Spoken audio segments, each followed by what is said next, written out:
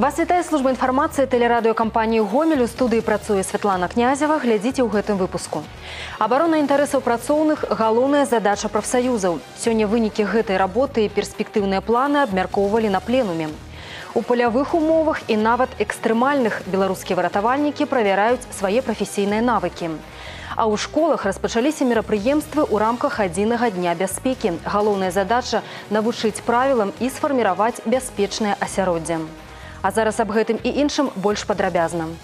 Гомельскі абласны выканаўчы камітэт стаў пераможцам рэспубліканскага конкурсу на лепшую практыку дзейнасці органаў мясцовай улады па рэалізацыі дзяржаўнай культурнай палітыкі па выніках 2018 года сярод выканкамаў абласнога ўзроўню. Летась у рэгіёне было праведзена мноства мерапрыемстваў, якія назаўжды застануцца ў памяці жыхароў вобласці. Напрыклад, на ўмацаванне пазітыўнага іміджу гомельшчыны, павышэнне цікавасці да яе вытворчага патэнцыялу, духоўнай спадчыны спрыяў конкурс брэндаў. У кожным кожным раёне вобласці выбіралі з чым асацыіруецца раён. У брагіне гэта метэарыт, які захоўваецца ў мясцовым музеі. У гомелі палацава-паркавы ансамбль і эканамічны форум. У ельскім фестывалі грай гармонік. У добружскім беларускі фарфор і многае многае іншае, што абавязкова варта ўбачыць кожнаму госцю нашага гасціннага края.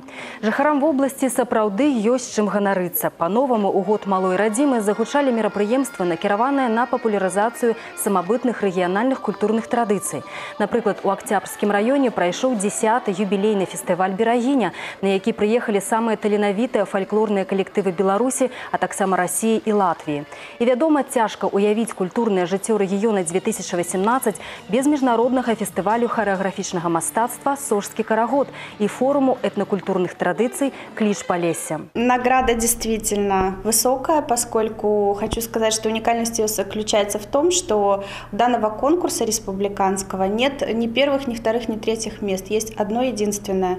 Вот и называется «На лучшую практику работы органов местной власти в отрасли культуры». Вот это место в этом году по итогам 2018 года досталось Гомельскому облсполкому. Это очень отрадно, почетно и ответственно.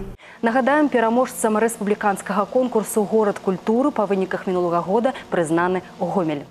2019 год даў старт справаздачна-выбарчай кампаніі ў арганізацыйных структурах федэрацыі прафсаюзу беларусі у цэнтры ўвагі рэалізацыя новай кадравай канцэпцыі прынятай саветам федэрацыі ў ліпені мінулага года аб гэтым і не толькі ішла размова сёння на пятым пленуме гомельскага абласнога аб'яднання прафсаюзаў зараз да падпісання рыхтуецца абласное пагадненне паміж выканаўчай уладай прафсаюзамі і наймальнікамі на 2019 2021 гады да документ асноватворны для трох бакоў. Па сутнасці ён вызначае ўзаемадзеянне сацыяльных партнёраў на ўсіх узроўнях.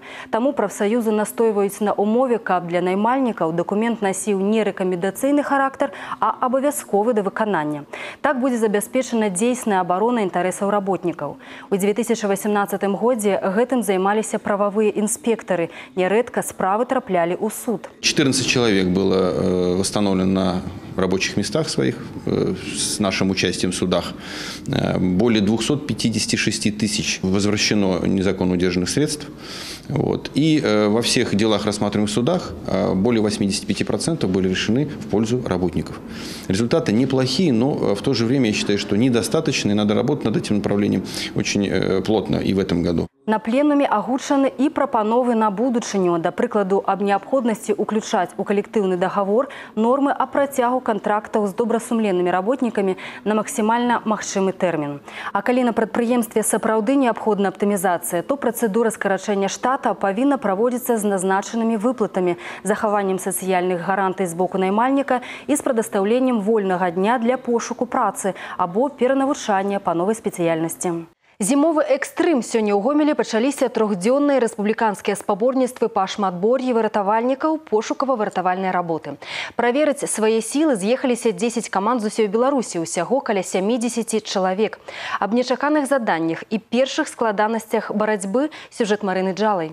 Усяго за два дні удзельнікам трэба прайсці цэлых 100 этапаў, справіцца з надзвычайнымі сітуацыямі, умоўна выратаваць чалавечыя жыцці, вырашыць складаныя задачы, адпрацаваць да аўтаматызму тысячи элементаў. На протяжении двое суток они будут выполнять э, поставленные задачи э, в течение 30-40 километров.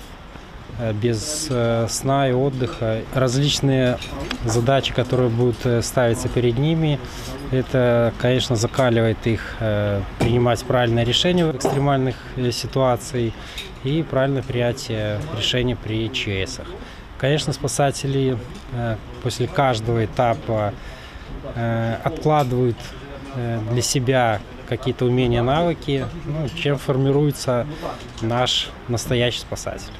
Усё гэта для таго, каб пры выкананні рэальных даручэнняў не разгубіцца і не патраціць на роздум ні аднаго лішняга імгнення. Прычым каманды не ведаюць, якія менавіта перашкоды ім трэба будзе пераадолець, але бадай кожнае заданне будзе выконвацца з рызыкай для жыцця. Першы этап самы масавы. Усе сем каманд адначасова выходзяць на старт. Заданне наладзіць пераправу праз раку. Яно складаецца з некалькіх элементаў, а па часе займае каля палутара гадзін. Назіраць за спаборніцтвамі выратавальнікаў не толькі цікава, але і хвалююча. Напрыклад, калі на тут жа змайстраваных насілках умоўна пацярпелага перапраўляюць з аднаго берага на другім. Мы на занятиях это все каждую, каждую смену отрабатываем.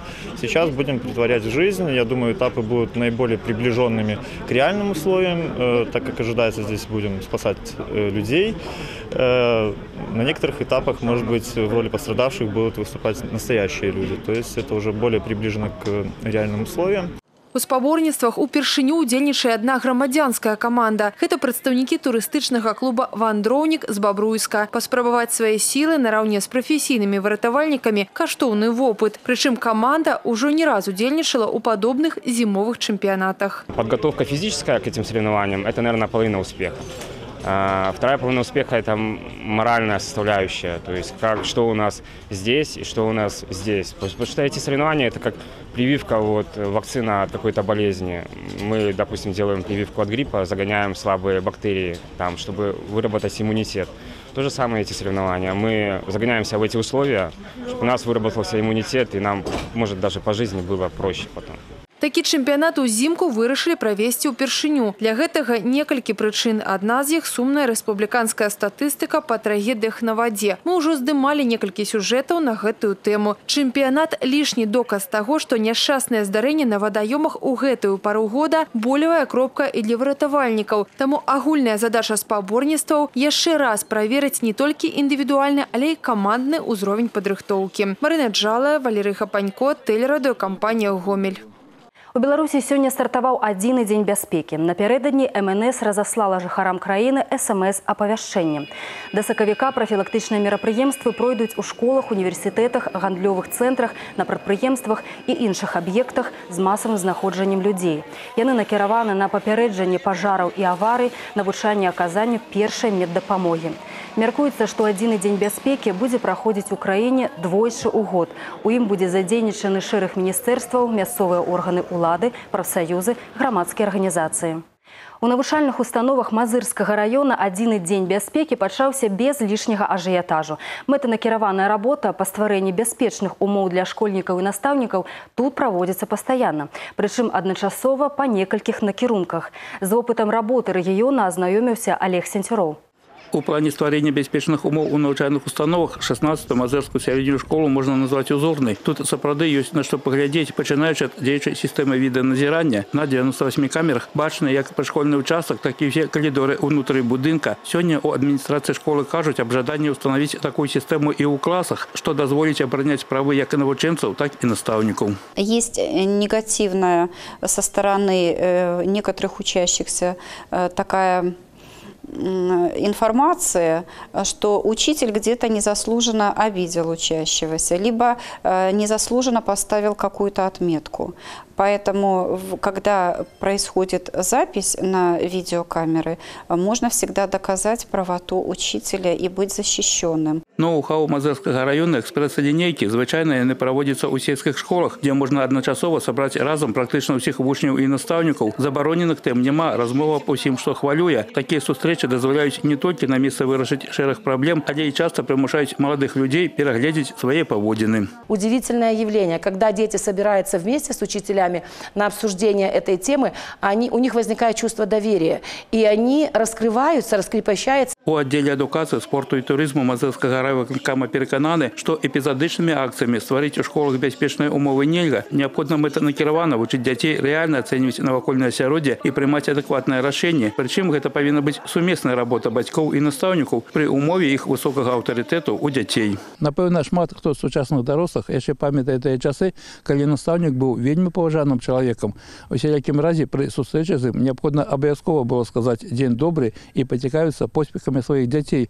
У некаторых вёсках гомельскай вобласці такія адносіны да настаўніка захаваліся да нашага часу. Махновіцкая сярэдняя школа установа невялікая, усяго каля 80 вучняў. Разам з тым такая кампактнасць мае свае плюсы. Настаўнікі добра ведаюць аб усім, што адбываецца з навучэнцамі ў школе і за яе сценамі і могуць аператыўна рэагаваць на любую сітуацыю. Выпадкаў, калі навучэнцы ігнаруюць патрабаванні старэйшых, тут не памятаюць. Конечно же, э, нужно соблюдать субординацию и никогда э, не ставить себя э, в такие рамки, как будто бы я являюсь подругой для ученика. Для ученика я учитель, взрослый человек, человек с опытом, который приходит на урок, чтобы вести урок и давать ему знания. Ученик должен это понимать. И еще одна тема, на якую сегодня звертается повышенная увага – знаходжение школьников у социальных сетках. Причем часто заниматься этим питанием приходится без допомоги батьков. Коли у сельской местности низкая компьютерная письменность дорослых не дозволяет контролировать детей, то горожане часто просто игноруют этот процесс. Разом с тем, колькость деструктивных групп в интернете не зменшается. Социальные сети нужно обязательно контролировать как со стороны родителей,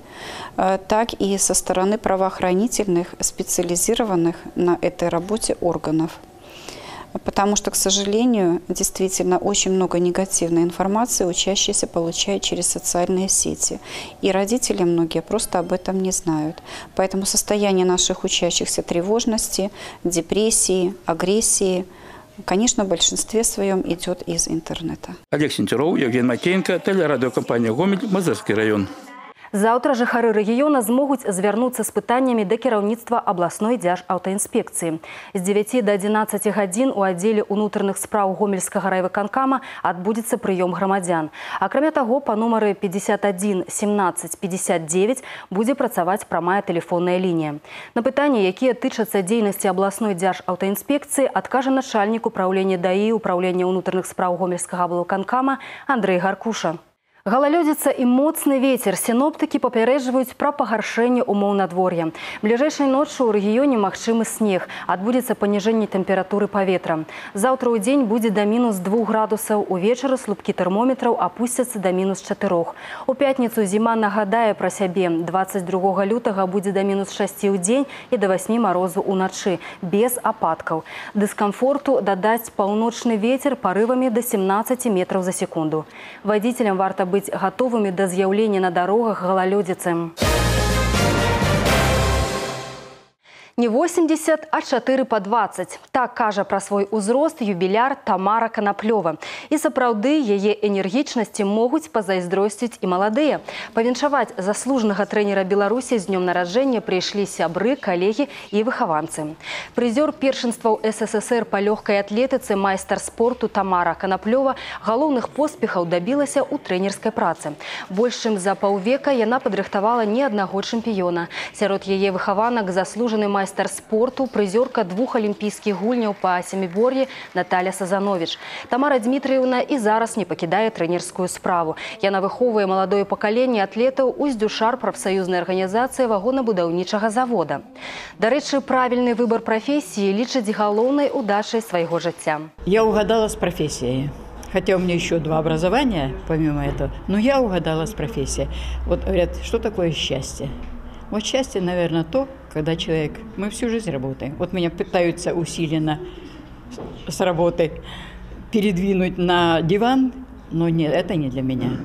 Вот. Поэтому я и учеников заражаю тем же оптимизмом, тем же э, стремлением чего-то добиться в жизни. Гэтыя і іншыя навіны вы можете знайсці на нашым сайце ў інтэрнэце па адрасе трайной.tvr.гомель.бай. На гэтым выпуск завершаны. Дзякуй за ўвагу і да сустрэчы ў эфіры. Эфир телеканала «Беларусь-4» продолжает де-факто в студии Александр Гамоля. Здравствуйте. Душили подушкой, требуя деньги. В Гомеле милиция задержала мужчину и женщину, которые ограбили пенсионерку на 500 белорусских рублей. Нанести нежданный визит криминальная парочка решила в ночь субботы на воскресенье. Грабительница ранее помогала 87-летней пенсионерке по хозяйству, а потому точно знала, что у пожилой женщины есть деньги. От ее дома у преступницы был ключ. Знакомого она подговорила без труда, сама постояла на стороже. Мужчина зашел в дом, накинул на пенсионерку подушку, стал душить и требовать деньги. В итоге хозяйка отдала 500 белорусских рублей, после чего грабители отправились за спиртным, чтобы отметить удачу. На следующий день их задержала милиция. Установили круг лиц, кто мог иметь доступ к ключам, либо посещал в последнее время потерпевшую. А в итоге подозрение пало на 37-летнюю жительницу Гомельского района, которая не раз помогала пенсионерке по хозяйству. А позже выяснилось, что подсобница знала, где спрятаны сбережения хозяйки. А чтобы отвести от себя подозрения, злоумышленница уговорила завладеть деньгами своего 54-летнего знакомого. Спасала свой дом и получила ожоги в поселке Паричи Светлогорского района. Женщина стала тушить пожар, и это закончилось для нее госпитализацией.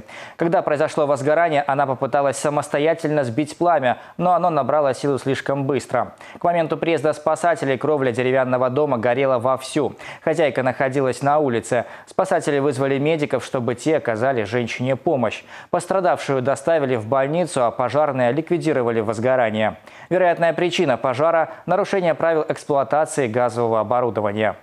А в Гомеле на улице Хатаевича накануне пришлось эвакуировать жильцов многоэтажки. На первом этаже случился пожар. Хозяин квартиры ушел из дома еще до начала злополучных событий, а его сын остался внутри. В ходе разведки квартиры его обнаружили и вынесли на улицу спасатели. Мужчина находился в бессознательном состоянии. Из-за сильного задымления проводилась эвакуация людей. На улицу пожарные вывели 16 жильцов многоэтажки, включая двоих детей. Никто из них не пострадал. По предварительной версии, пожар произошел из-за неосторожного обращения с огнем при курении. Не уступил дорогу и попал в ДТП. В Мозере автолюбитель на Форде не пропустил Мерседес и спровоцировал столкновение. Авария произошла на трассе Бобруйск-Мозырь, граница Украины. Выезжая со второстепенной дороги, владелец Форда не предоставил права на преимущественный проезд водителю иномарки, которая ехала по главной. От удара машина нарушителя перевернулась. Понадобилась помощь медиков. В результате дорожно-транспортного происшествия 50-летний водитель, а также 57-летняя женщина-пассажир автомобиля Ford Galaxy получили телесные телесные повреждения, с которыми были госпитализированы травматологическое отделение. Водитель был пристегнут безопасности, поэтому получил травмы менее тяжкие. Женщина 57-летняя не была пристегнута ремнем безопасности, и травмы у нее более серьезные. А гомельчане тем временем все чаще стали проявлять гражданскую позицию. В ГАИ поступили новые сообщения о нарушениях водителей маршруток. Этот, например, поехал на красный. Причем водителю маршрутного такси номер 12 было явно не втерпешь. Перекресток на пересечении проспекта Ленина и улицы Интернациональной он проехал медленно, внимательно осматривался по сторонам. Автолюбитель, который ехал позади, передал запись в инспекцию. Теперь нарушителя ищут сотрудники ГАИ. Таков обзор происшествий за сегодня. Оставайтесь на Беларусь-4. Эфир телеканала «Беларусь-4 Гомель» продолжают новости спорта. В студии Павел Михно. Футбольный клуб «Локомотив» в ближайшую субботу встретится с реческим спутником. Матч пройдет на стадионе «Сдюшор» номер 8 в 14.30. К слову, представители второго гомельского клуба «Зелено-белый» Милован Капор и Дмитрий Дударь провели мастер-класс для учеников средней школы номер 59. Школьники основательно подготовились и даже устроили небольшую пресс-конференцию. На ней они спрашивали игроков футбольного клуба Гомель о кумирах, начале карьеры и о том, как стать хорошим футболистом. Гости отметили, главное – желание играть и правильно относиться к своим ошибкам. После пресс-конференции начался мастер-класс. Дударь работал с учениками в воротах, а Капор показывал упражнения для полевых игроков. Они хотят просто э, учиться, и это очень важно, потому что, э, потому что я, я тоже был, был молодежь и э, хотел učiti što to kaže den i igrati futbol prosto. No, ja učim rad što oni hoće zanimati se futbolu uopće. Цель таких тренингов – показать реальный футбол лучше виртуального. Футболисты надеются, что увидят участников мастер-класса на стадионах. Завершился мастер-класс автограф-сессии и совместными фото на память. А игроки Гомеля пообещали приложить все усилия, чтобы хорошо выступить в чемпионате страны. В Гомеле прошел открытый кубок Гомельской области по мини-футболу среди незрячих категории Б1. В турнире участвовали команды из Гомеля, Витебской области, сборная Москвы и национальная команда Беларуси. По итогам турнира первой стала дружина россиян. Серебро досталось сборной нашей страны, а третье место завоевала команда Витебского региона. Гомельчане заняли последнюю строчку турнирной таблицы. Это первый значимый турнир в истории гомельской команды и один из этапов подготовки к чемпионату Европы для сборной Беларуси. Они не все такие еще подтянуто спортивные, но потихонечку работаем, но есть огромное желание. Посмотрите, как они, как они бегают с, с теми наравне москвичами, которые, эти э, ребята, которые тренируются с, с маленького возраста. Если есть кто-то услышит это, есть возможности, то на базе нашего этого мы, центра мы ждем всех. Открытый областной турнир имени Юкова пройдет в Гомеле. 6 по 9 марта в областном центре соберутся сборные Беларуси, России, Казахстана, Литвы, Азербайджана, Молдовы, Киргизии и Украины. Спортсмены 2001-2002 годов рождения будут бороться на призы абсолютного чемпиона СССР по боксу и обладателя хрустальной перчатки Алексея Юкова. На этом пока все. С новостями спорта вас знакомил Павел Михно. Оставайтесь на Беларусь 4.